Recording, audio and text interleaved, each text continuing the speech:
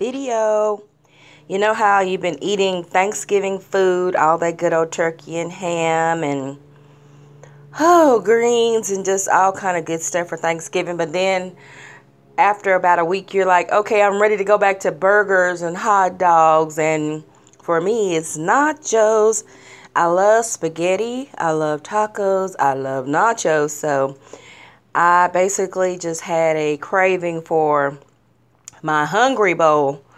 My hungry bowl is this blue bowl that basically whatever go in that blue bowl just means that I'm I'm hungry and I want something good. So I didn't make a nacho plate. I made a nacho bowl. So it's got all kinds of ground beef, cheese, lettuce, refried beans. It's all kind of stuff in here because I was so hungry and I was like, okay, I'm sick and tired of greens and turkey and ham, which I love. I was like, but it's time for something new. So I had to get on here and get in my blue hungry bowl. So it's a good old blue hungry bowl of nachos. All right, you guys, be blessed.